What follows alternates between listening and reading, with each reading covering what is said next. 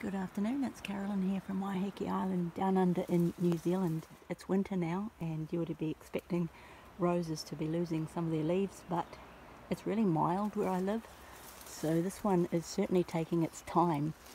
Um, it's got a gorgeous flower. Here it is up here. Oh, I knocked a off. And it has a gorgeous smell as well.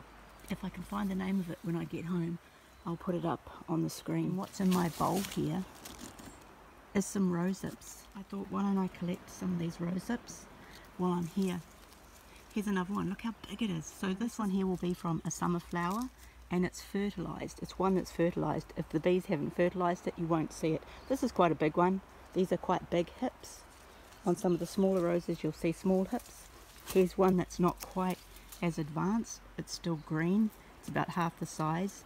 And then down further, you'll see one here, an old flower if that's fertilised, which it probably is because most of these seem to be, there's a lot of bees around here, then it, it will get bigger and bigger until it ends up big like that uh, big yellow one up here, which is the size that I'm going to be picking it at. If you're wondering why is she even bothering to pick those, it's because they contain a huge amount of vitamin C. This one rose hip would have as much vitamin C as 50 oranges and what I can do is dry these out and make a cup of tea and get my vitamin C that way. It's pretty easy isn't it?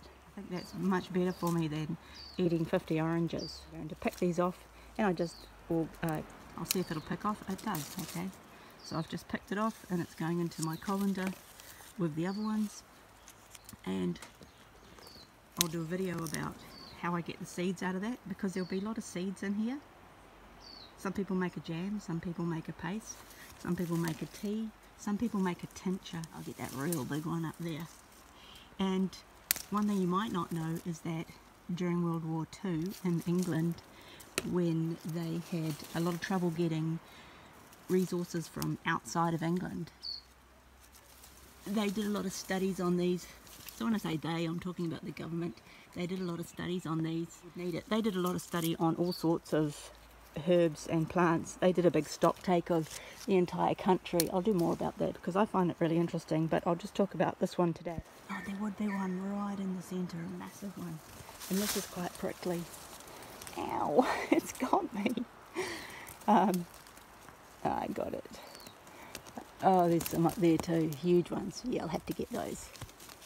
I'll do more videos on the, the, things that they used during that time because I think it's really interesting um, to see what people do when things are scarce. Man, this has such nice blooms. They open out and get fuller and fuller, and it does have quite a nice smell. Um, in some countries, you will get roses that are wild that you can collect from. Um, not so much here in New Zealand.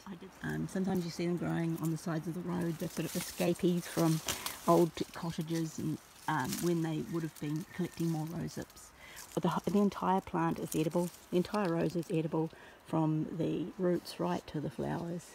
And all rose hips are edible, so don't be concerned. As long as you can identify a rose, then that's the first thing that you can do, come out and collect them. Some people say that you're supposed to collect them after the first frost. We don't really get a frost here on Waiheke. Well, this place wouldn't have felt a frost where these are. Uh, look, wow, look at that little bee making a rose hip. Hopefully this video has inspired you to get out there and collect your own rosehips and make sure that you get your vitamin C.